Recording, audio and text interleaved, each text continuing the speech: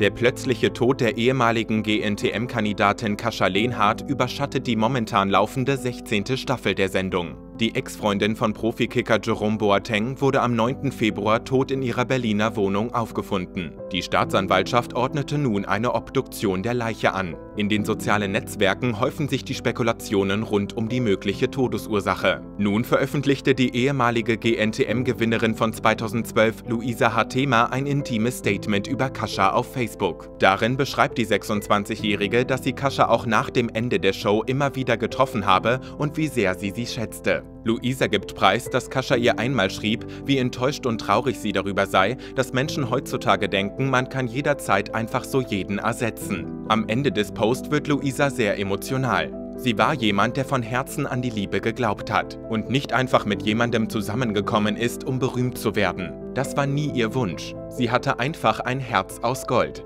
Kurz nach der Veröffentlichung des Posts wurde er wieder gelöscht.